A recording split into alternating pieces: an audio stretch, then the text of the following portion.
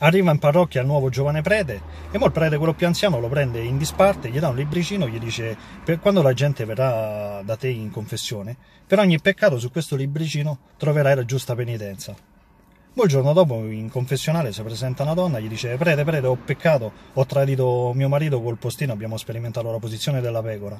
E questo prende sto libricino, comincia a sfogliare, pecora, pecora, pecora, pecora, pecorina, dice figliola vai a casa e recita 10 Ave Maria. Il giorno dopo questa ritorna, dice prete, prete, ho peccato di nuovo, ho tradito mio marito, ma stavolta col postino e col giardiniere. E questo prende il libricino, comincia a sfogliare, orgia, orgia, orgia, orgia, ta, ta, ta, ta, dice figliola vai a casa e recita 10 Ave Maria e 10 Padre Nostro. Il giorno dopo questa torna un'altra volta, prete, prete, ho peccato, ancora tu, dice, che hai combinato stavolta? Dice, ho tradito mio marito con l'idraulico, gli ho fatto un pompino. Figliola benedetta, prende questo famoso libricino, comincia a sfogliare, po, pompino, pompino, pompino, pompino, niente ricomincia a sfogliare, po, po, po, po, pompino, pompino, pompino, pompino, niente.